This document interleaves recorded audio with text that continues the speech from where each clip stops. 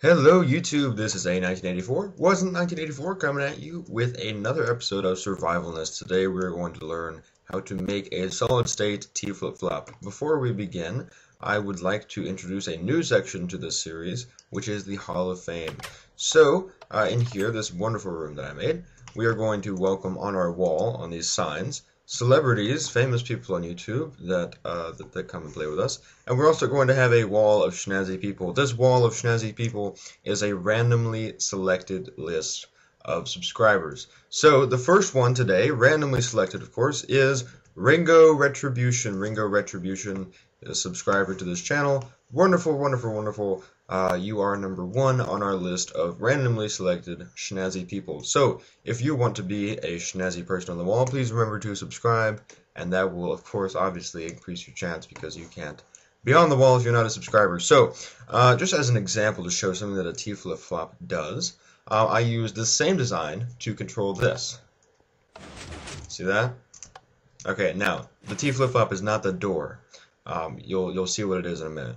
Um, now, an advantage or disadvantage, um, you can use it as a clock actually in this design, is if you stand on the input,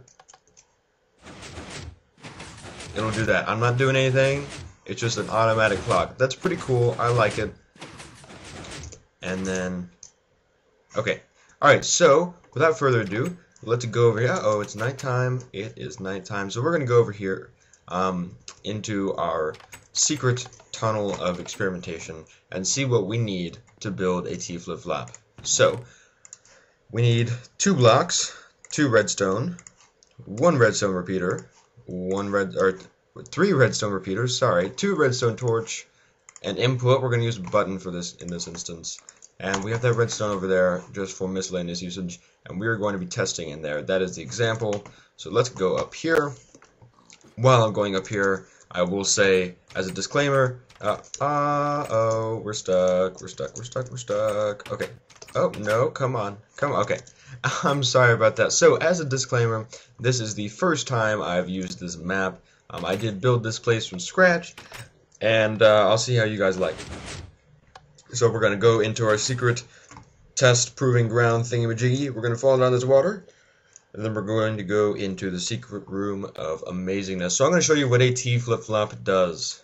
See that? We're going to press the button, and then the output will remain constant. It's either on or off. So now how... I can't speak today. No matter how many times you press it, it will it will be constant. So that's pretty cool. Um, you don't need three redstone. You only need two. This one right here is the output, and that's the trail. That's why I included this third one, but you really don't need really don't need that. So, without further ado, let's begin. So, step one, of course, is to make, let's see here. Okay, we're going to put it right here.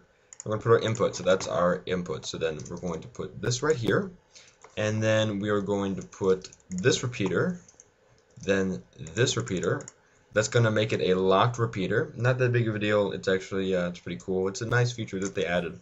And uh, if you want to learn more about that, I might make a video about it later on in the uh, in the life of this channel. So then we're gonna make a repeater there, set it to two ticks, and then uh oh, and then and then place our two redstone here, and then our one redstone output, and then there you have it. You have a T flip flop solid state.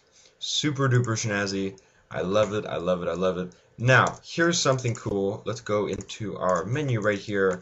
Get rid of this. So as I um, demonstrated earlier if you stand on it, it actually becomes a clock, and you can adjust the clock through through these repeaters right here. So it's actually a uh, a clock. I didn't measure how many ticks it is. Um, you can you can see how fast it is. Um, so that's super duper useful if you're into that kind of thing. Uh, clocks are of course, I mean obviously clocks are useful in many ways. You can measure things with them.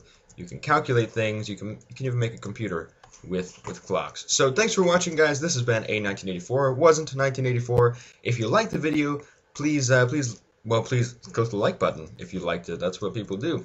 And uh, and comment. Tell me what I did right. Tell me what I did wrong. And uh, and be sure and subscribe if you want to be on the super duper schnazzy list of schnaztastic people. Um, yeah, so thanks for watching. I will see you guys in the next episode of Survivalness.